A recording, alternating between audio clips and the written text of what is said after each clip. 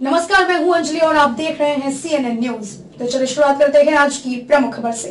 Fishing हमलों में users की जानकारी चुराने के लिए साइबर क्रिमिनल्स अपनी नई रणनीति के साथ वापस आ गए हैं और इस बार वे सबसे ज़्यादा उपयोग किए जाने वाले instant messaging platform WhatsApp Facebook और अन्य प्लेटफॉर्म को निशाना बना रहे हैं। मेटा के स्वामित्व वाली कंपनी ने बताया कि उनतालीस हज़ार से अधिक वेबसाइटें मिली हैं।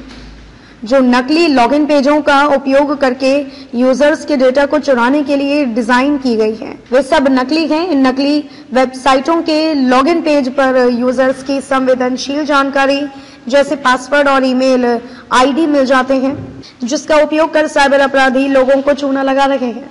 सिर्फ़ व्हाट्सएप की फर्जी वेबसाइट ही नहीं फेसबुक इंस्टाग्राम और फेसबुक मैसेंजर की फेक वेबसाइट बनाई गई है। जो यूज़र उस नकली वेबसाइट पर क्लिक कर अपना अकाउंट लॉगिन करता है, वह धोखाधड़ी का शिकार हो जाता है।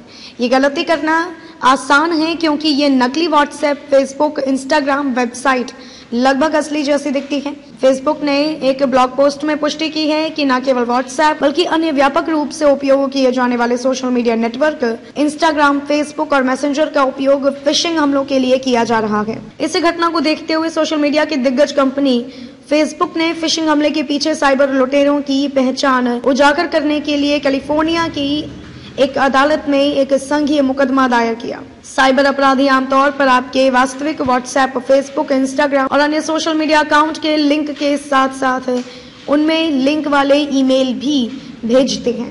खबरों में अब तक ये बस इतना ही। मिलते हैं फिर ऐसे ही किसी बड़ी खबर के साथ। तब तक के लिए नमस्कार और देखते रहिए सीएनएन न्यूज़